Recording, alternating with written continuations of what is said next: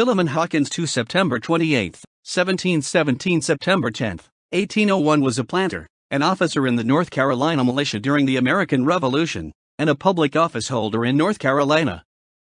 Early life and political career Philemon Hawkins II was born on September 28, 1717 in Charles City County, colony of Virginia. His parents were Philemon Hawkins I and Anne Eleanor Howard.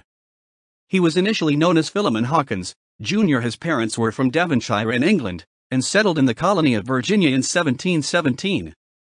His father was the grandson of Sir John Hawkins the English naval commander, and died in Gloucester County, Virginia in 1725.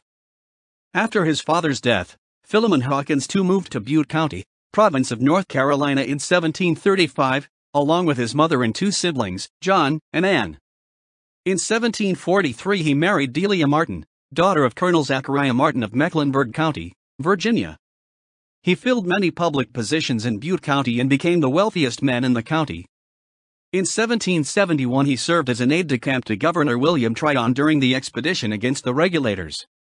He served as a delegate to both North Carolina provincial congresses in Halifax in 1776. He served seven terms representing Granville County in the North Carolina General Assembly between 1779 and 1787. In 1782 to 1783, he was elected to Council of State in the General Assembly. Philemon and Delia had six children John Hawkins, Joseph Hawkins, Benjamin Hawkins, Philemon Hawkins, 3, Delia Hawkins, and Anne Hawkins. Lieutenant Colonel Joseph Hawkins and Major John Hawkins served in the Warren County Regiment, along with their father. Military service He served in the North Carolina Militia during the Revolutionary War. September 9, 1775 he was appointed by the North Carolina Provincial Congress to serve as a lieutenant colonel in Bute County Regiment at which he served until the regiment was abolished in 1779. May 3, 1776 the Provincial Congress selected him as a colonel over the 2nd Battalion of Militia. He did not stay with this unit and resigned this commission.